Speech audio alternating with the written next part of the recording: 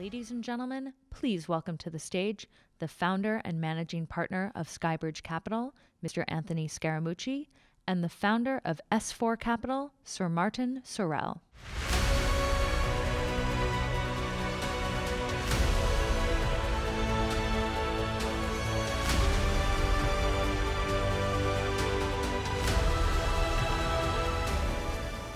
Okay, Anthony, we have 20 minutes to talk about 2020. And 2020 is not just the American election. We'll, we'll move on to other things. But let's start with the election. Who'll win? Who'll win in November? Well, you know, I have the I have the outlying prediction that we technically still don't know who the candidates are. And so, Right. uh, uh, the I think the consensus view is that um, the president will make it to the nomination, and he'll be the Republican candidate. Right. Then I think it's still very unclear on the Democratic side. Um, but if the president doesn't make it to the nomination for the varying reasons and the trouble that he's facing right now, uh, I think the Republican will very handily win uh, versus the um sort of the left-leaning politicians on the uh, Democratic well, side. let's assume for a minute on, on impeachment, chances are low on impeachment. I mean, from my perspective, it doesn't seem as though Well- he will be impeached. Well, I, I, I think if you look at the current facts that have unfolded, I think Yeah. that that is the conventional view, and I think most people will accept that. But if the facts worsen, um, and I think one of the issues will be, um, you know, the, the president's been president now for three years. Um, is is that the only call that he had that had that sort of substance to it? Right. So if the answer to that is yes, then I agree. I think that he will likely not be impeached. But if the answer to that is no, and there's more volume, right. um, I think it's going to be more concerning. To Well, let's assume he isn't impeached for a minute. And let's say he goes to the polls. Let's look on the Democrat side, because my view is he will win against any or all of the Democrat can- candidates that we're seeing at the moment. I'm subject to anybody else emerging. I mean, we were talking off stage about the, the, the slight possibility that Hillary Clinton might mm-hmm. emerge again low probability, but Yeah. it's a possibility. But given the, the slate that we see, uh, who do you think could defeat Trump in the election? Well, I think I think I think something more likely would be uh, uh, if, if Vice President Biden continues to weaken. I think somebody more likely would potentially be uh, Mayor Bloomberg. Uh, he's already suggested it to people, and he would be more likely. Uh, Secretary Clinton clearly would love to get in the race. That's just my opinion, based Right. on you, knowing But people these are low her. probabilities. We know Yes. Michael reasonably exactly well. right. We know yeah. you know Hillary Clinton well. Yeah, I would say those are low probabilities, and so I think the race is going to be fought out primarily between Senator Warren and Vice President Biden. Okay, And, so- but I'm on, I'm on the outlier view on that as well because her polling numbers are really good. Yeah. But I think he wins it, and I think it's very similar to what happened in uh, 2003. So you think Iowa and New Hampshire, those figures that we've got in the last few Yeah, days? so, so five weeks before the uh, 2004 Iowa caucus, Right. uh, uh, John Kerry was down about 11 points. Right. And he closed that gap, and he won in Iowa, and then he rolled into New Hampshire, and by the end of the South Carolina primary, he was the nominee. And so, so there's a you know there's a weird thing that happens in Democratic uh, Party politics. I think Right. sometimes the uh, who the consensus person looks like in the beginning ultimately ends up getting the nomination. What do you think, Martin? I think Trump wins, uh, given the current slate, whether it was against Warren. I think Trump would win far more easily than against Biden, but I think Trump wins. Um, what's interesting to my mind is that a lot of what we talk about is because we live in the bubble. So I live in London and New York. You live on the East Coast, West Coast. Now, interestingly, your business, you have a lot of retail investors. Uh, yeah, so, so- you see the Midwest and the middle, and So- you say that that's, that's shifting. I, I think the president would have to be very worried uh, because the middle of the country, uh, which is his proverbial base, is shrinking. Uh, and they did some polling numbers yesterday about the impeachment. Right. And it looked like the hardcore people were at about 26%. He has been roughly flat in terms of his approval rating. Uh, some of that's good news, some of that's bad news for the president, but he's been stuck in the real clear politics zone of about 41%. But when you ask these people if there was an alternative, 60% of the Republicans say yes, they would be open to a Right. potential primary. Uh, Right. So to me, when I travel in the Midwest, you know, Chicago, Ohio, some of the swing states, uh, there is uh, worries. I think the, the content is mixed. You know, he hasn't done super well for the farmers. He hasn't done super well in the manufacturing communities. Some of it's not his fault, frankly, but some of it, you know, is just the uh, forces of globalism and Well, so forth. so but I think I- they're worried. Yeah, so I, I, I think the key factor will be turnout. I mean, one of the interesting things about the US presidential election last time round and about Brexit, about the referendum, is the turnouts were roughly two thirds of the electorate. So, what effectively it means that in the case of Trump, a third, approximately the electorate voted for him, a third voted for Clinton, and a third didn't, didn't turn up. Brexit was very similar. It was about a 70% turnout.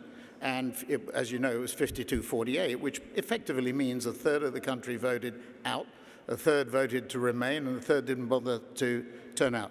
So if there is a higher turnout, which there may be, we'll see, we'll see as we, although there's a lot of apathy in relation to pol- politics in Western countries, um, that might be, to my mind, the, de- the deciding factor. If the turnout was very high, probability gets less.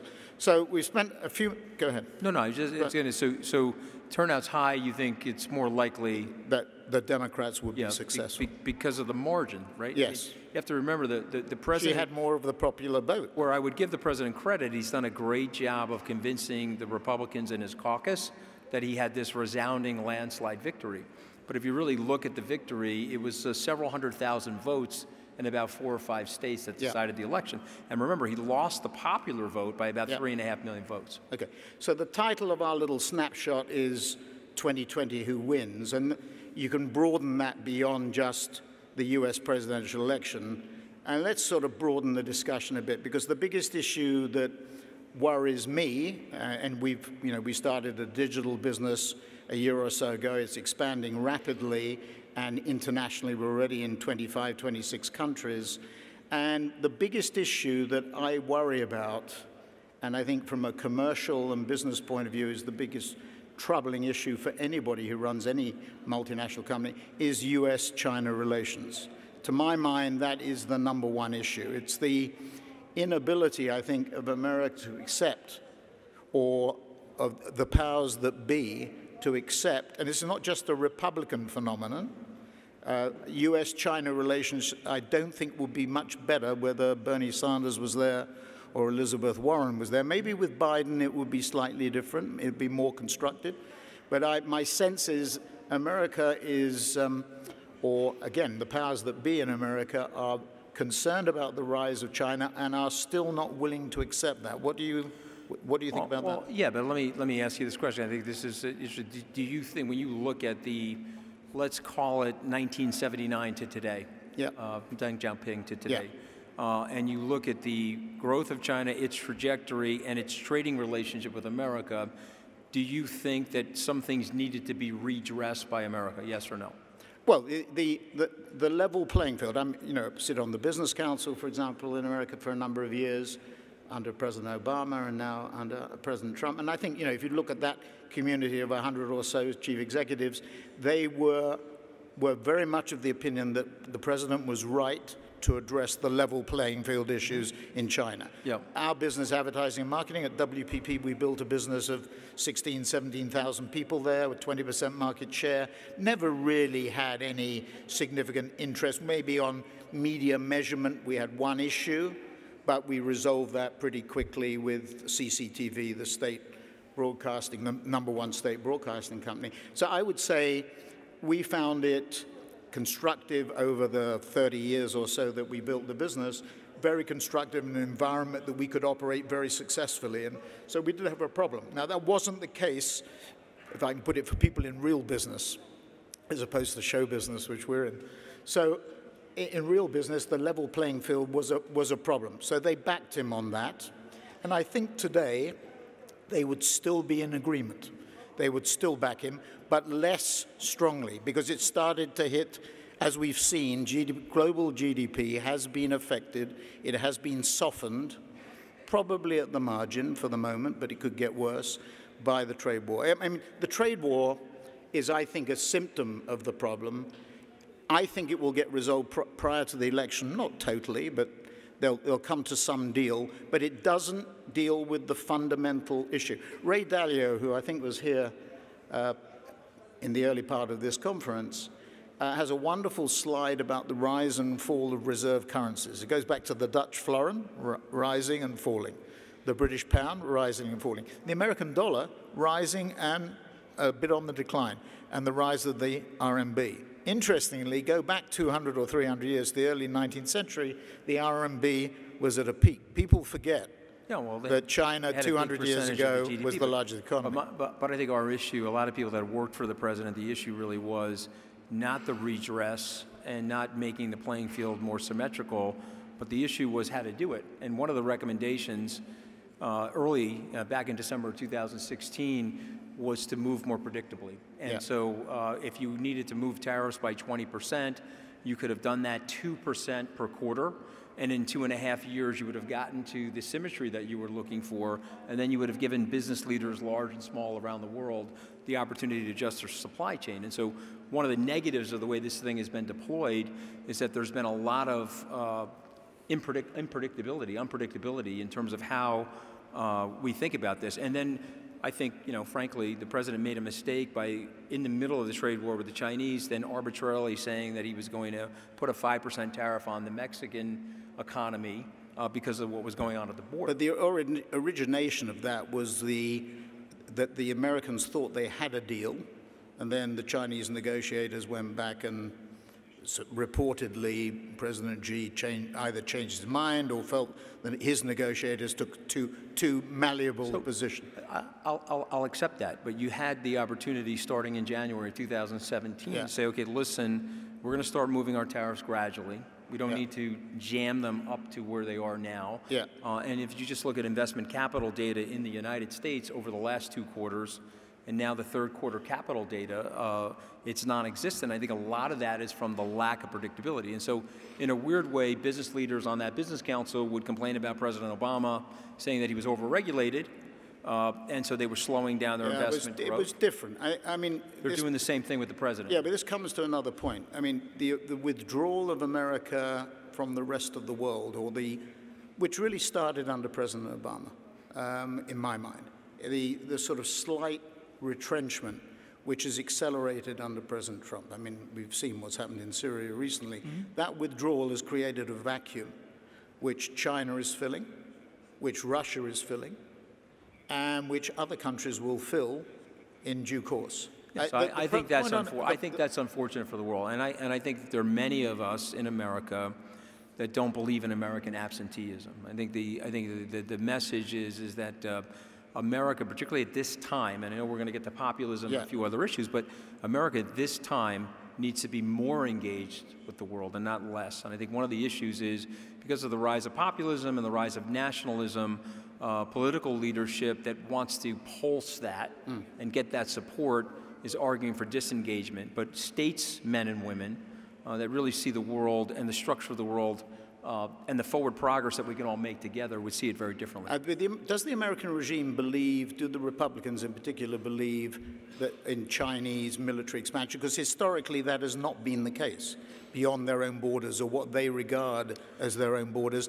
They don't historically expand to a significant degree, but there seems to be this this fear, neurosis. It's more of an economic. I think in the their minds, yes, it's a soft power war. It's more of an economic war. It's more of a positioning war on things like rare earth materials, and it's. Uh, I think that the the One Belt, One Road initiative is not fully understood. And I think what people have to recognize, I'm sure most of the people in this room recognize that uh, a lot of the people in the Congress don't travel.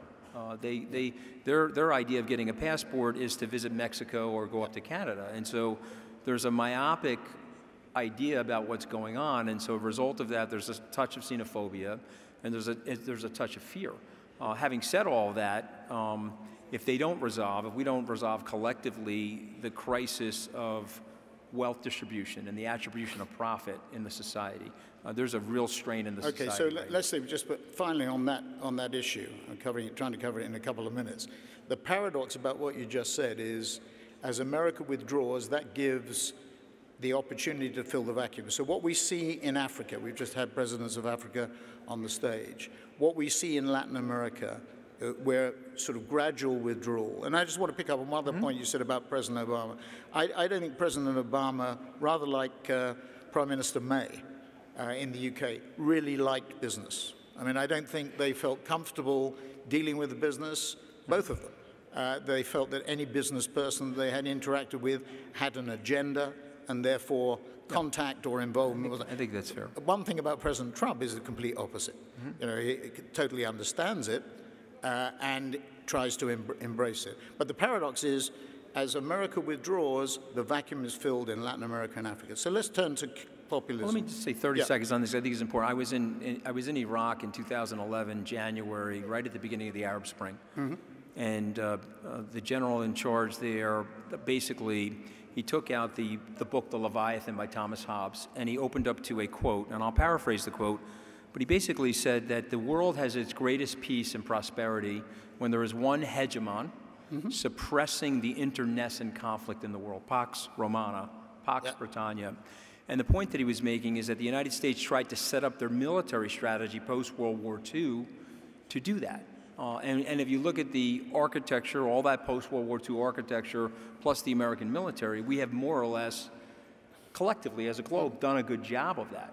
American disengagement at a time where there isn't a clear military leader, and it's also not clear that that military leader is, you know, has the checks and balances in the system that the United States has, I think that's worrisome to the world. I think that will add risk premium to markets, and I think it'll also potentially create unwanted crisis or unwanted conflict. Okay. As we do this global dash, let's just turn to what you mentioned uh, briefly before populism. Uh, we're seeing we're seeing disturbances. Uh, we've got a list here: Hong Kong, Chile, Ecuador, Bolivia, Egypt, Lebanon, Iraq, Spain, uh, Indonesia all disruption, populist driven disruption, even in very what we think of as stable regimes like Chile, for example, probably to, to a negative, a, a most stable, historically worried about intervention of the army, which probably drove a lot of the unrest in the case of Santiago and Chile just recently. Um, but obviously populist tendencies. And, and coming back to the first thing that we discussed, the election, that's the primary driver for President Trump. This is the disenfranchised or the disaffected yeah. or the people who feel they've been left behind. And you, know, you saw that in the White House. So that drive is not going to go away. That's going to intensify. We're at the beginnings, really, not foothills, but really the beginnings of technological development, and the pace is quickening. So those people are going to feel even more disenfranchised and worried.